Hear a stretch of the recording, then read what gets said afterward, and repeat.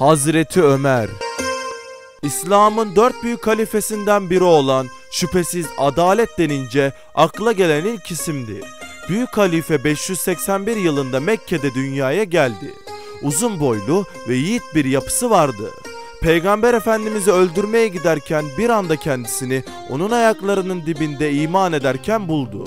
Müslüman olduktan sonra müşriklere çok sert davranmış ve dinini her ortamda kimseden çekinmeden herkese meydan okuyarak savunmuştu. Bu yüzden de Peygamber Efendimiz ona Faruk lakabını vermişti. Halifelik yıllarında birçok Bizans şehrini İslamiyet toprağına katmıştı.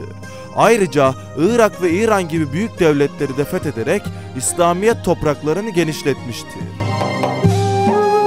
Gelin o büyük adaletinden çokça söz ettiren Hazreti Ömer'in adaletinin nasıl olduğunu birkaç örnekle görelim. Hazreti Ömer bir gün Medine'nin bir caddesinden geçerken kalabalıklar arasından bir adam bağırdı. Ya Ömer, memurlarının hareket tarzını çerçeveleyen birkaç kanun ve ölçü koyduğun için yarın Allah'ın gazabından kurtulacağını umuyor musun? Haberin var mı ki Mısır'daki amirlerinden Ayyad bin Ganem ipekli elbiseler giymekte ve kapısında nöbetçiler bulunmaktadır. İmanın billurlanmış nurdan abidesi Cenab-ı Ömer radıyallahu an hemen Mısır'a bir memur gönderdi ve dedi ki koş Ayyad'ı ne halde bulursan öyle getir. Memur Mısır istikametine gitti ve Ayyad'ı gerçekten ipekli elbiseler ve muhafızlar içinde buldu. Memur onu öylece alıp Hazreti Ömer'in huzuruna getirdi. Hazreti Ömer onu öyle görür görmez direkt Ayyad'ın üzerindeki ipekli elbiseleri çıkarttırdı. Ona kıldan örülmüş sert bir aba gösterdi ve onu bundan böyle çölde bir sürü koyun gütmekle görevlendirdi. Ayyad'ın bu vazifeyi ölümden daha ağır bulduğunu görünce Hazreti Ömer şöyle dedi. Niçin bu işi kendine layık görmüyorsun? Babam bir çoban olduğu için kendisine Ganem adını almadı mı? Ayyad yaptığı yanlışı anladı ve ölünceye kadar doğruluktan ve uygunluktan ayrılmadı. Hazreti Ömer'in burada vermek istediği asıl mesaj, devlet başkanı dahi olsan halkın üstünde olamazsın. Adamın biri bir gün Hazreti Ömer'i dava etti. Hazreti Ömer de hakimin karşısına çıktı. Hakim Hazreti Ömer'e yakınındaki bir yeri göstererek ''Ey müminlerin emiri buyurun şu yakınıma gelin'' dedi. Hak ve adalet güneşi Hazreti Ömer radıyallahu an bu sözü işitir işitmez parmağını hakime uzatıp bağırdı.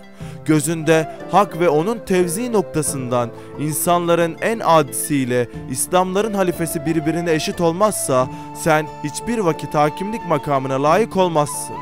Kelamullah namını hükmeden hakimin vazifesi halifeye hürmet değil Allah'ın emrini yüceltmektir. Şanlı halifenin bu kadar hiddet ve gazabına rağmen hakim Zeyd bin Sabit gayet sakin halifeye tane tane cevap verdi.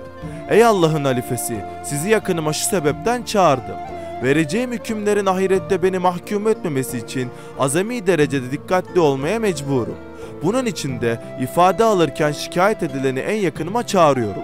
Suallerime cevap verdiği zaman göz ucuyla onu hep süzüyorum ki suçlu olup olmadığını daha sağlam olarak anlayayım. Hakimindeki bu adaleti gören Hazreti Ömer çok mutlu oldu ve Allah'a dua etti. Bir gün Hazreti Ömer radıyallahu an Müslümanların işleriyle ilgilendiği odasında oturuyordu. Bu sırada Hazreti Osman Efendimiz içeri girdi ve Esselamu Aleyküm ey müminlerin emiri dedi. Lakin Hazreti Ömer cevap bile vermedi. Hazreti Osman şaşırdı ve Hazreti Ömer'i izlemeye başladı. Nihayet müminlerin emiri elindeki mektubu bitirdi, yanmakta olan mumunu söndürdü ve ve aleykümselam ya Osman dedi. Hazreti Osman bunun sebebini sordu. Ya Ömer, niçin mum yanarken selamıma karşılık vermedin? Hazreti Ömer, ya Osman, bu mum devlet malınındır. Bunda bütün Müslümanların hakkı vardır. Bu mumu Müslümanların işlerini görmek için yakıp mektup yazdım. Onun için bu mumun ışığında selamını almadım. İşte koskoca İslam devletinin halifesi olmasına rağmen bir Hazreti Ömer'in inceliğine bakın, bir de hiçbir vasfı olmadığı halde kendince böbürlenen insanlığın haline. Bu dünya Hazreti Ömer gibi bir devlet adamına aç haldedir.''